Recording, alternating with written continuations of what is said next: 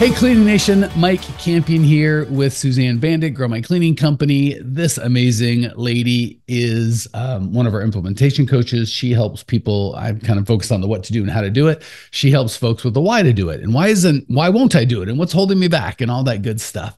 And today, um, we're going to talk about your self narrative, or the less fancy way to say that would be the story, or probably more specifically the stories that you tell yourself um, and how they affect your business, both good and bad, right? Because a lot of times I don't want people to be like, ah, this isn't for me because, you know, I don't tell myself, I don't do that. It's like, oh, there's always a story, whether it's a good story or a story that moves you towards your goal or away from your goal, there's always a story. That's all we do as humans. We are story creating machines. So we're going to talk about um, how to do that on purpose. And she's got uh, Suzanne. And she, usually there's a list of three. Today it's got five. so I'm going to shut up quick and get Suzanne started so we can get uh, all five of her golden nuggets before before our time goes up. So Suzanne, the floor is yours.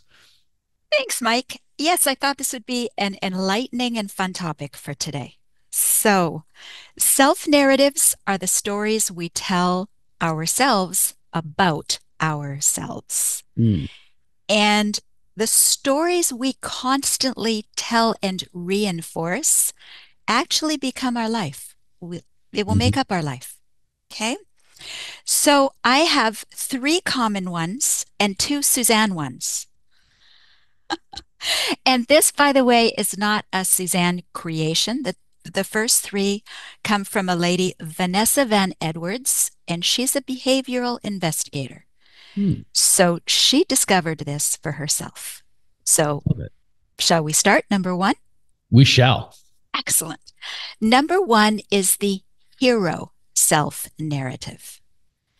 And in a hero self narrative, you talk about challenges overcome. In the past or in the future or both? Everything. Okay, there was this challenge in the past, I overcame it. There's this challenge now, I will overcome it. Mm. Okay, so the challenge of um, something, something, uh, what's a cleaning related reference? Um, a challenge with not enough employees. I took care of that, right? My employees were fighting. I took care of that. So challenges overcome. The only thing I would like to point out, and I'm going to say, by the way, in all of these, there's no right or wrong, no good or bad. I'm just going to ask everyone to be reflective and say, hmm, is this the story that I say? Is this my self narrative? Mm-hmm. Because a hero story can have many good connotations. However, the point that I would like to point out is sometimes we can look for the challenge, even create the challenge so we can say, I overcame it. Mm. I, I do see as business owners, we can get addicted to that putting out fires energy, which can feel good for a minute, but it's not a, you know, long term, it'll grind. Mm-hmm. So simply an awareness of let's make sure I'm not trying to find or create the challenges so that I can feel good putting them out and have a further story. Janelle and I just did a podcast on that of the tendency for business owners to look at focus on potential future problems as opposed to actual opportunities available today. Okay, so self narrative number two is the victim self narrative. Hmm. And that's where everything happens to me. Hmm.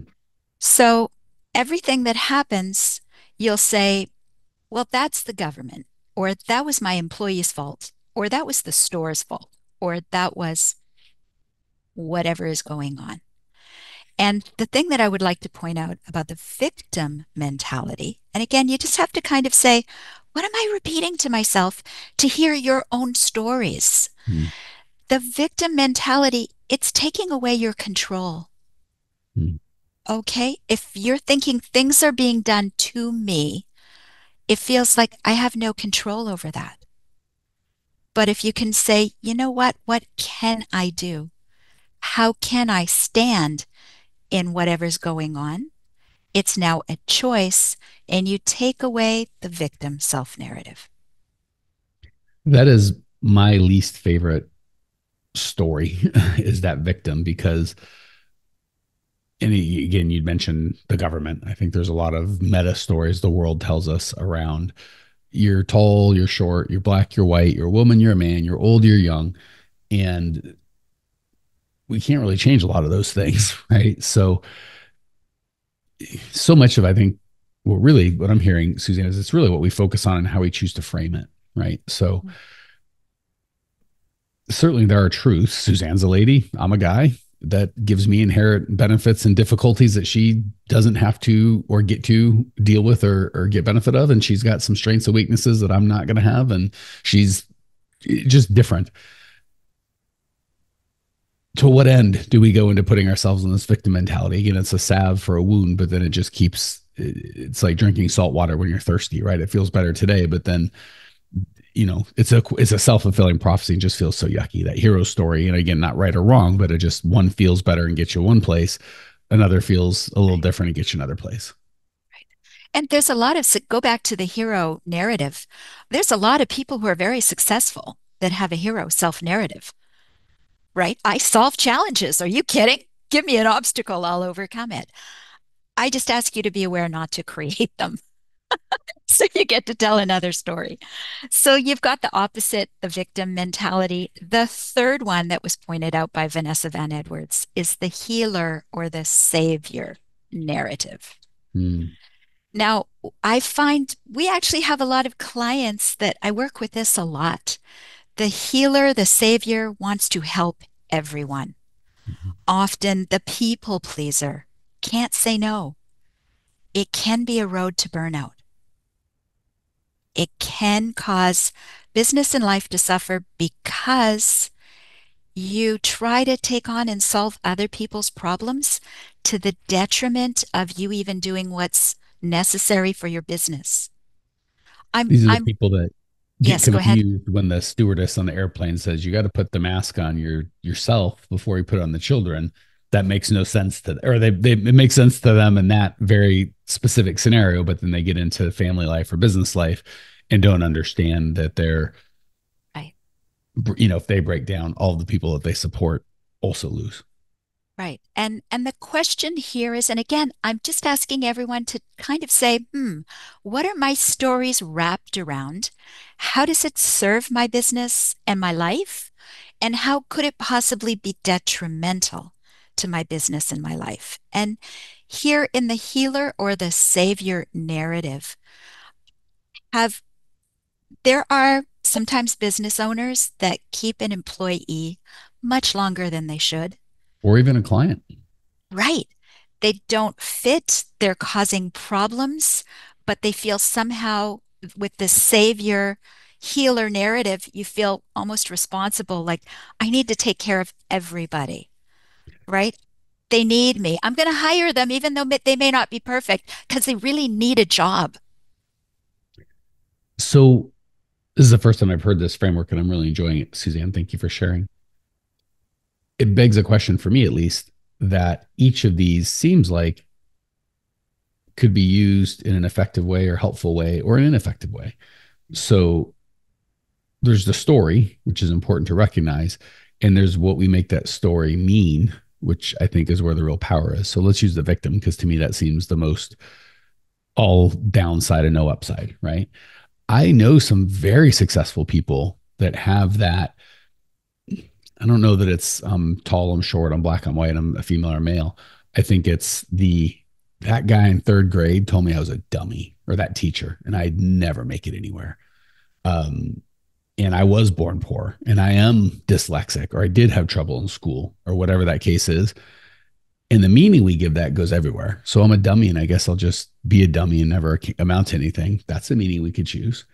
I know, and again, I'm not, that's not an energy I feed off of. So I'm not personally experienced, but I see some very, very successful people that thrive in that. Oh, you say I can't do this? It's on. So, how important is the story versus the meaning we give it? Right. And I would I would actually venture to say that if you say, "Well, you told me I couldn't watch me," or "You tell me I'm I'm in a country or a racial group or man or woman that I couldn't watch me, I would say that actually falls in the hero narrative because it becomes a challenge and watch me overcome it. Okay, so that really is switching stories than it is mm-hmm. just switching the meaning. So I guess we I guess really the question I had, the answer I'm hearing is yeah, you can once you identify it, and it's tough because fish have a hard time understanding they're wet. And sometimes we are so ingrained in these stories. That's why I love you identifying. So it's a little easier to see it and go, oh, I guess I do think that. I do feel that, or I have gotten into that. So we can change it into a story that's a little more effective. It's not just the meaning. We can just often changing the meaning changes the whole story, which is the point of this. Absolutely. And the the we can change anything with an awareness and then a choice if we're not aware of the stories we tell ourselves, they run invisibly and control our lives for better or worse. When we become aware, then we can say, I like this, let's keep it, or I choose to change. Hmm. We need the awareness in order to make the choice. And then we can have any version we decide we want so just as a bonus, and I'm dying to hear Suzanne's kind of bonus to uh, stories. I think questions can really dictate focus and, and awareness. So in statements, we don't really learn much. Questions we learn, even if it's a question we're asking ourselves. So for me, I sometimes I might give myself a, oh, I don't do that story. Like I put myself in categories. I do this, I don't do that, which is not completely true. A better response might be a question. When do I give the victim mentality. Like I know I, I, feel like I don't do it a lot, but when I do, I'll bet you it's really bad. Tell me, tell me about that brain. So I think if we ask the, if we just kind of go into this, not saying, you know, with no judgment, just going, tell me more brain, like asking the questions, when do I go each of these stories? I'm, I'm confident we can find it. And what does that mean? And why do I do that? And how is that serving me? I think those questions would all match these story frameworks pretty well. Right. And potentially in any situation. Good point, Mike, because we can say that. What narrative am I using with this this uh, challenge or this something that's happened? Right? There's a reality that's happening right before your eyes or in your life. And you could ask yourself, what self narrative am I using? What do I choose to use? Mm. And right there, if it's good, keep it. If you decide I'd rather respond in a different way, change the self narrative and your story is going to change. Mike Campion here. Do you ever listen to the podcast and go, This is great information. I just wish I could actually get it implemented and I wish I could get some help?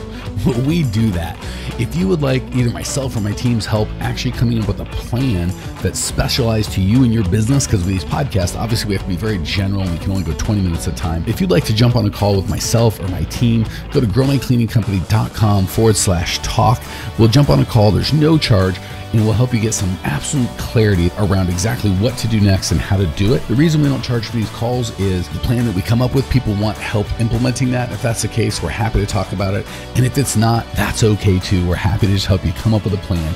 So if you want to translate the information you're learning here into an actual plan that can change your life, give us a ring, growmycleaningcompany.com forward slash talk. Love to either myself or have one of our coaches walk you through and actually personalize the content you get here to where you're at with your business. Talk soon. Um, you know, where this is kind of timely. I don't know when we're going to release this, but we are recording uh, in the United States the day after our presidential election, right? And sadly, I feel like this is one of the more where half the country's like, suck it, chumps. And the other half is really scared, overwhelmed, or unhappy. And, you know, it, it stinks that we can't just be like, well, not the president I voted for, but I'm all in, or it's the president I like, but, you know, I want to, you know, a little more it's, it's right. as I've been younger, I didn't find it to be so, um, you know, you're on your side of the road, I'm on my side.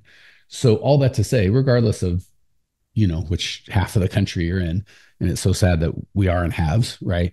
You could go, well, the victim mentality could be, oh no, the guy I got, you know, didn't win or whatever, or um, gal I wanted, or whatever the case may be and we can change that to a, a, a, hero. Okay, well, what do I need to do to create the? You know, I can't yes. I can't control who the heck is in living in the White House today or tomorrow, or God forbid the day before. But what can I do? And even on the Savior, like how can I you know, we don't live, we all in the United States, but we live in cities and towns with different governors and city managers and HOAs. And, you know, most of us have families, even as our role in that. Like, what can I do for the people I love? That, that's going to make a much bigger difference than if it's a knucklehead or a genius in the White House. Like, what can I do? So there's, I think it's a perfect example of, you know, lots of folks out there right now might feel victimized and that's, that sucks.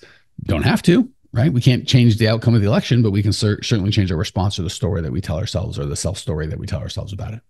That's beautiful. Thank you, Mike, for that perspective. Yeah, I just I I don't like getting into politics because that's not what we do here. But um, I don't like when the country, you know, feels again that victim. You know, it's like, well, maybe your guy or gal won or didn't win, but how you respond to that is 100 percent your your you know your prerogative. All right. I've, I was told there'd be a bonus too. Do tell. okay. Okay. Here's Suzanne's special two. And with these two, you're going to see the world I choose to live in. Okay. Then the, the narrative number four is the successful person. All right. The successful person self narrative is I win at things. Mm, I, I am a successful business owner and even everything I touch turns to gold. We are looking for the wins. Now, let's be clear here. Does this mean this always happens? No. Does it mean that every, you know, in all of the others, the hero self narrative, are there potentially a few obstacles you don't overcome? Yes. But your story of I overcome them supersedes everything else. It overruns and overrules it. So if you develop the successful person self narrative, you're going to automatically look for your wins. And the crazy thing is, I would imagine it's single digits percentage wise of things that are unarguably successful or unarguably unsuccessful, right? Like 80, 90% is probably really depends on how you look at it, right? Like every successful business story I've seen, including my own and those of clients or friends or, you know, um, biographies or autobiographies, comes with a lot of stuff that at the moment probably felt not so successful. But in retrospect, it's like, wow, that's when we turned the corner. That was that was what needed to happen at that time. So this other thing could happen. So in retrospect, it's a little easier to kind of see it dispassionately, but in the in the moment, we can we have a lot more agency to tell ourselves a successful story on almost anything that happens. Right. So let's take an example. Uh, something, let's say you've got a successful person self narrative. So you go forward and you do something. You create the business, you make the decision within the business, and it doesn't turn out you have a choice with what just happened to fall into a victim yeah. self narrative and say, well, this was all done to me. I have no control. I or knew you, it. I knew every time I try right. something new, I get smacked in the head. Oh, that's beautiful. Well, not beautiful, but that's a good example. Accurate. not accurate. beautiful, but accurate. Okay. Or you can say, if you've got a if you're working on the successful person self narrative you can say what i tried didn't work however i'm obviously I, I, will succeed i know i succeed this is my story i succeed so i'm going to try this in a different way let me gosh let me frame this in a way I, i've got a really good example that we go through with our clients that will make sense to you guys that you can extrapolate to other areas of your life so one of the big things we talk about, we'll go real tactical just for a second on when it comes to client attraction or marketing is tracking. It's really, really important. But very, very few of our none of our clients come in with knowing what to track or how to track or track or know what to do with the data when they come in. And the reality is on there's some things that you can make some money right away. And we love those. But some of the other stuff, like people are like, I want to build a Facebook funnel and have, you know, automated thing and blah, blah, blah, blah. Oftentimes with the ad spend of the people that we have, which is low, we want to make sure we're not wasting money on untried stuff, um, they don't they have a negative or zero return on ad spend month one. And the perspective could be, I knew it. I spent 500 bucks on Facebook or whatever the case would be, and I'm I didn't get a single new customer.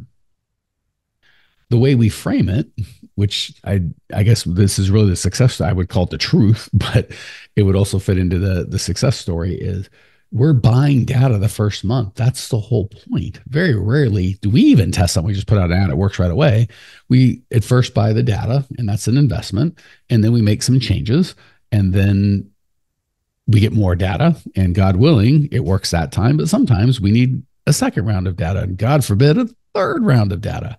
But if the story, the success story is everything works generally pretty quick, and I'll either I'll either get more data, which is sometimes more valuable than an actual sale or two, or I'll get a sale, or in the best case scenario, I'll get both. But when I don't get any, I'm like, great, that was the that was the success story. Yeah, of course I'm getting data. Why would I have this thing work right off the bat? It's going to be, you know, ideally, this is a skill set that will be able to make me millions of dollars from here on out does it make sense to invest a couple months and some a couple bucks and getting data yeah so i think the the victim mentality is Facebook screwed me. They're always trying to, you know, stick it to me. And the successful person is like, yeah, that's just part of the process. And if and when I ever give up, then it'll be over. But until then, we're just in process. And the process I thought was going to feel like this turns out it feels like that. Okay, moving on. Right. And you see, both of those scenarios give us a different story, they give us a different outcome. So remembering that the stories that we constantly reinforce, those thoughts of who we are, will give us the life that we ultimately have. Mm-hmm. So the if successful, I can be so bold, it'll give uh-huh. us the uh-huh. life we deserve. Better for worse. Ooh, okay. he said it, not me. okay. So the successful person narrative just means if I'm not having success now, I will have because it's a given. Okay, but let's do number five. This yes, is please. kind of fun. This is kind of, oh, my husband would say, oh, that's so you, honey. it's something I've lived with for a very long time, and it's I always get what I want. Hmm. Okay, um, I invite everyone to play with this one because it's been extremely successful for me. Okay. I always get what I want, meaning, well, let's put it this way. We were in a store recently, and we were actually from the last event um, before this one in June, and we were going down the Oregon coast. And somebody was making homemade plaques. Hmm. And I'm very sorry I didn't get this plaque because it keeps coming back to me. Aww. And the plaque said, I don't expect you to hand me everything I want. You can just put it down anywhere. I love that. my husband looked at me and said, That is so you. And I'm going to say, with that narrative, sometimes it doesn't happen right away. But I know that no matter what happens, in the end, it plays out, that it turns around to be something that I wanted. Okay, so it's all about looking for it. And it's so funny because, and again, everyone out there can go, I tried that and it didn't work. It's like, yeah, this isn't, the world isn't a magic genie, but and I don't want to say we're magic genies, but man, there's a lot that goes on. Just again, if I walk, Suzanne and I go to dinner um, together with our spouses. And on the car ride over, I'm telling my bride, Natalie, these things always stink and it's always awkward. And I, you know, I bet you the food's going to be terrible. And, you know, I, you know, Suzanne, you know, I don't even know why we're going out with these people.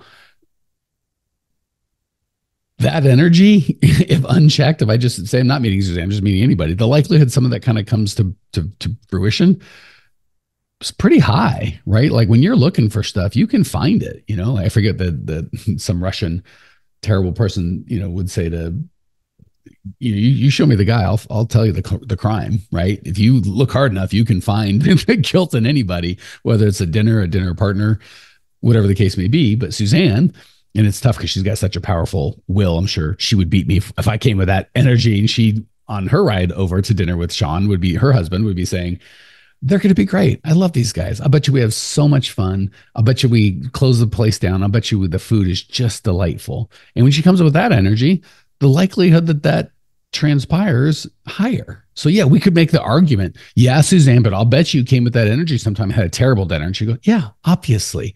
So I'm stuck with only 87% of my life working out great, as opposed to negative Nelly over here. And sometimes I go out thinking it's going to be terrible and I'm delightfully surprised. But again, she's probably happy with her 80 to 90% success rate or things happening. And I'm probably unhappy and victimized by my 10 to 18% success rate. And I say success of getting the the picture that I I, I picked. So I love the if we're going to tell ourselves a story, why not just a story? I'll bet you it's going to be great. I'll bet you these people are going to be amazing. I'll bet you this client's going to be great. And we do the opposite when we talk about like, what if I, you know, do a group interview and 100 people show up or nobody shows up? as opposed to what if the exact right amount of people came and I had so much fun and we had two or three people that not only did I hire, we became friends for years. Like just bring one of those two stories into the a group interview with you or any and just watch what happens. Like same thing, same people are going to show up, but just what I bring to it can change everything. So there you go. Rant over. Anything to wrap with, Suzanne? Awesome. So again, it's awareness and if you want, you can make a different choice. Let's have a look at our self narratives. And it's not about working harder, it's about thinking differently. Hmm. Well, well summarized, Suzanne. All right, guys, gals. Um, I feel like we've, yeah, I love that. Love, love, love this conversation. Um, for those of you that are a little frustrated, go, man, I like these one to many calls, but I, I, really would like some. How does that work in my life and the specifics? Feel free to reach out, Instagram, growmycleaningcompany.com, whatever. We got a ton of people. We are here to help owners of cleaning companies specifically. So if you need a little more one to one, let us know. And if you're enjoying the uh, podcast, let us know. And if you're not enjoying it, let us know. Be, be nice. Uh, hope that's helpful. Talk soon, guys. See you. Hey, Cleaning Nation, if you dug the content you just got, we don't do any ads and I don't sell anything on this podcast, but if you would just subscribe, rate, and review, it would be huge and I'd be so appreciative. Not only is it going to help me, but you'll help other owners of cleaning companies across the world work less, make more, and get profitable. So if you appreciate the value we give, again, subscribe, rate, and review. It would mean the world to me. I'd really appreciate it. And we sure appreciate your time and attention.